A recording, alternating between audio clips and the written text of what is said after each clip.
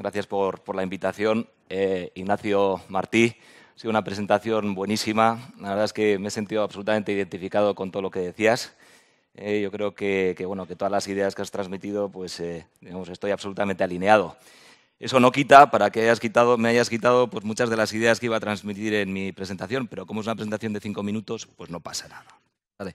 Entonces, lo primero que quería decir es, bueno, que hablamos aquí de oportunidades de energía marina y, claro, de alguna forma, pues mi presencia pues, está más centrada en lo que es eh, la, eólica offshore, eh, por, el proyecto en el que estamos eh, metidos ahora mismo. ¿Y por qué? bueno, pues de alguna forma es, son proyectos que efectivamente se pueden llevar a cabo digamos, a gran escala. Bueno, de alguna forma, digamos, la, la evolución, digamos, como decía también Ignacio, pues ha sido una evolución de, la tecnología que ya ha empezado hace muchos años, que ya de todas las eh, energías eólicas marinas es la más eh, madura. Eh, es una zona, digamos, donde, donde estamos desarrollando los proyectos, que es bueno, en Europa del Norte, básicamente la zona en, Inglaterra y, en Alemania. Hay diversos motivos que motiva eso, pero bueno, lógicamente en Europa del Norte tienen, bueno, Inglaterra y Alemania tienen por un lado el soporte regulatorio, tienen unas condiciones del fondo marino en cuanto a profundidad y en cuanto a condiciones eh, geotécnicas adecuadas, eh, por otro lado, se lo pueden permitir eh, y por otro lado, pues también tienen muchísima experiencia en lo que es el, sector de, de, oil and gas. Em, bueno, digamos que es una tecnología que todavía bueno, tiene un coste de generación elevado, pero que claramente la tendencia es a la baja.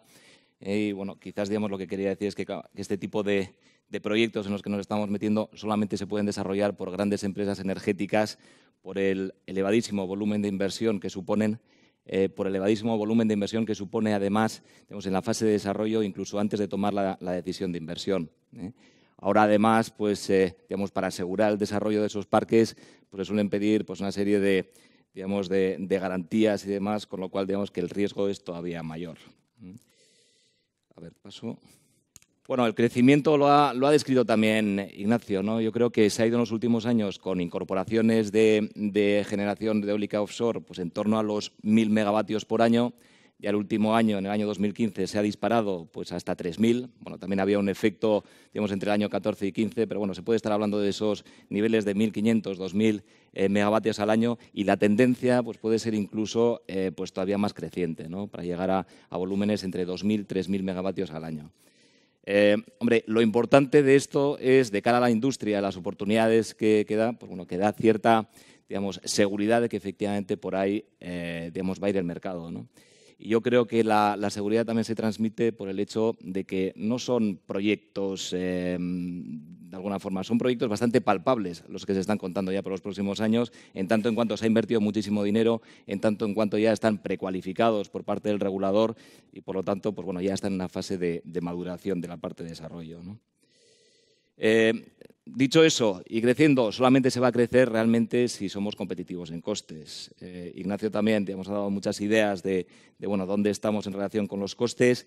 Eh, bueno, yo pensando un poco en, mm, nuestros proyectos, los proyectos en los que estamos, pues lógicamente, pues, eh, digamos, si piensas en las turbinas, turbinas más grandes, más eficientes, más fiables, más, más duraderas.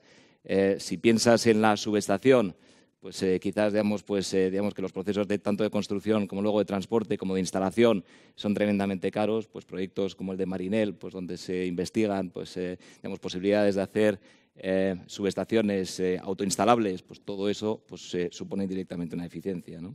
Barreras, lógicamente tenemos un montón de barreras eh, y yo creo que desde el punto de vista regulatorio, eh, yo creo que se ha marcado también antes que cuanta más visibilidad tengamos de, la posible evolución, más seguridad haya, la industria se va a enganchar al carro y si se engancha la, industria al carro, pues eso te lleva eh, inevitablemente también a la eficiencia. Ya entrando un poco a lo que es la estrategia de Iberdrola. Iberdrola ha entrado hace ya unos años en lo que es el desarrollo de la energía eólica offshore eh, se construyó conjuntamente con, eh, Dong eh, un parque en el mar de Irlanda, que es el parque de West of Down Sands. Un poco la estrategia que se ha seguido ha sido pues, bueno, pues ir desarrollando y construyendo y, explotando parques de forma escalonada. Motivo de hacerlo así es, bueno, pues por un lado de prudencia, por otro lado pues financiera. Son unos volúmenes de inversión brutales eh, y por otro lado experiencia, experiencia que vamos ganando en cada uno de los proyectos que lógicamente pues, se puedan aplicar a los siguientes proyectos, eh, tanto desde el punto de vista técnico como desde el punto de vista eh, de gestión. En la actualidad estamos, como decía, explotando ya el parque eólico offshore de West Devon Sands en el mar de Irlanda. La experiencia que estamos teniendo es una experiencia muy positiva. Eh, de hecho, pues lo que es el factor de energía, digamos, o la producción que estamos teniendo está por encima de, lo que teníamos presupuestado, con lo cual, pues todo eso facilita efectivamente a que haya más confianza en Iberdrola, haya más confianza en el sector para poder seguir empujando con estos proyectos. Y luego estamos en la construcción del proyecto eólico marino de Vikinger en el mar Báltico, eh, que lo estoy llevando yo. Eh, está muy lejos, está en el, ahí, digamos, en el norte de Alemania, pegado a Polonia eh, somos un equipo pues, eh, que en el pico de, construcción pues, podemos estar directamente involucrados por parte del Grupo Iberdola pues, hasta 170, 180 personas, a los cuales luego hay que sumar pues, todas las, las digamos, personas de, bueno, todos los trabajadores, de todos los contratistas y demás. ¿no? Em, bueno, digamos que a mí me gusta digamos, enseñar unas fotos para, realmente transmitir un poco qué es aquello y que realmente por parte de todos los asistentes veáis un poco realmente dónde están las oportunidades. ¿no? Porque yo veo ahí una foto de la, de la, subestación de transformación y no veo una subestación de transformación marina. Yo lo que veo es eh, pues, suministro de acero, eh, veo pues, eh, digamos, laminación, veo equipamiento eléctrico, veo grúas, Veo pues, eh, sistemas de, aire acondicionado, sistemas contra incendios, eh, sistemas de señalización, eh, sistemas de control, ingeniería. En definitiva, que, prácticamente todos los sectores digamos, que estáis aquí representados, pues seguro que de una forma directa o indirecta podéis colaborar o habéis colaborado o podéis colaborar en el futuro en este tipo de cosas. ¿no? Eh, lógicamente, Iberdrola no puede tener contratos, o sea, eh, no sé, 100 contratos directos y gestionar los 100 contratos directos en el proyecto, pero tenemos una estrategia de contrato, de multicontrato, pues prácticamente se resume pues, en 10, 12 contratos importantes y esos contratos luego, pues, eh, o contratistas, ya subcontratan el resto de servicios y gestionan un poco las interfaces. veo las cimentaciones y, bueno, pues no veo una cimentación.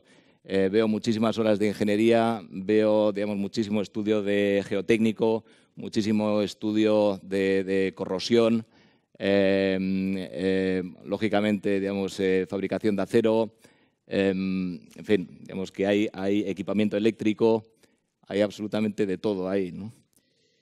y luego en el de la izquierda, quizás la foto más curiosa es ya una de las fotos, es una foto del proceso de construcción. Hemos empezado el proceso, el proceso de construcción a finales de, a finales de, marzo, principios de abril, y eso pues es el barco de instalación que está haciendo el hincado de pilotes y como veis, digamos, hay como dos círculos concéntricos que son, eh, eh, son cortinas de burbujas. Y son cortinas de burbujas que se tienen que instalar para mitigar el, ruido, porque tienes que proteger a los mamíferos marinos.